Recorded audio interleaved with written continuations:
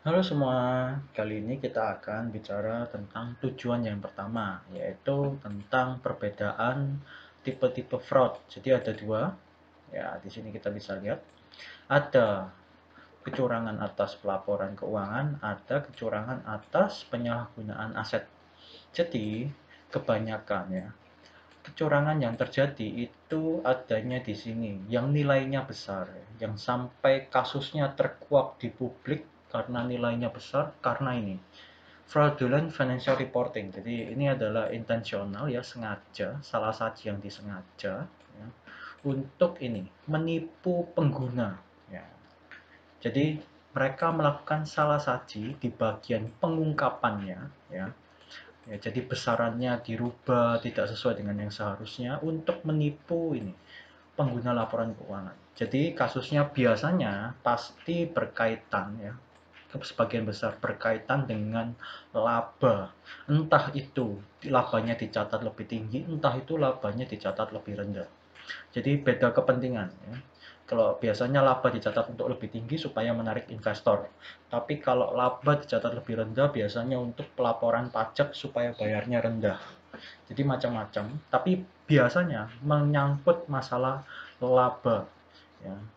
Lalu ada juga yang namanya earning management yang berkaitan dengan fraud ya jadi labanya dimanipulasi ya. tidak seharusnya tapi dia manipulasi ya.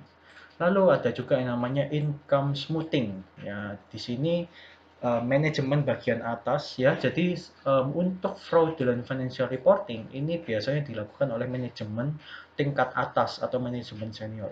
Salah satunya income smoothing di mana di sini adalah salah satu bentuk dari manajemen laba. Jadi di sini ceritanya income ya, atau pendapatan itu dari tahun ke tahun itu dirubah supaya bentuknya itu tidak uh, berfluktuasi terlalu tinggi ya karena investor tidak suka pada perusahaan yang punya fluktuasi earning yang terlalu tinggi ya. Jadi misalnya maksud saya seperti ini. Jadi kalau misalnya ada suatu um, grafik nih ya, misalnya ini ini tahun ya, ini tahun, ini besaran labanya.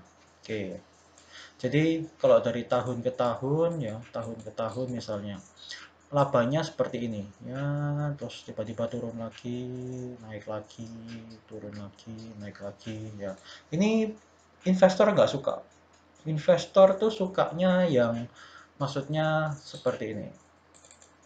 Uh, hapus dulu. Jadi investor itu sukanya yang labanya itu tidak berfluktuasi seperti itu.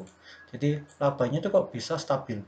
Nah, stabil seperti ini. Naik turunnya nggak apa-apa, tapi stabil tapi tidak seperti yang tadi ya, yang tidak stabil seperti ini. Jadi perusahaan ini seakan-akan bisa nantinya bangkrut ya. Mereka mengasumsikan seperti itu. Kalau naik turun naik turun pasti ada saatnya dia akan turun terus. Nah, perusahaan sukanya itu yang stabil seperti ini ya. Jadi bisa dibilang dia itu ada di tengah-tengah sini. Nah, untuk itu ya, jadi kembali ke PPT, perusahaan suka sekali melakukan income smoothing, manajemen laba, ya seperti itu. Lalu ada juga yang namanya misappropriation asset, di mana ini adalah penyalahgunaan aset. Ya, jadi harta aset itu ceritanya disalahgunakan atau biasanya dicuri. Ya, jadi ini biasanya tentang pencurian atas aset perusahaan dan biasanya dilakukan oleh lower level employee ya, jadi staff-staff yang bagian bawah, entah itu kasir, entah itu supir, ya banyak banyak macam.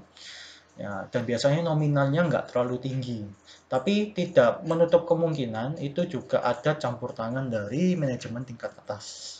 Ya, jadi dibedakan aja ada dua, financial reporting ya kecurangan atas pelaporan keuangan sama kecurangan atas ini manajemen uh, penyalahgunaan aset.